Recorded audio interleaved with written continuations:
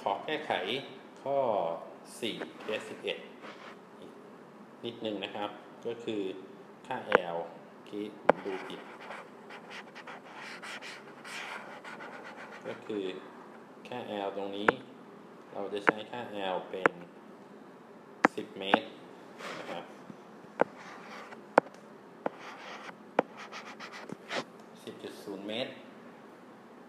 นะครับ10.0 เมตร เมื่อกี้บอก 1 เมตร นี่คือเป็น 10.0 เมตรนะครับเพราะฉะนั้นแก้ไขค่า L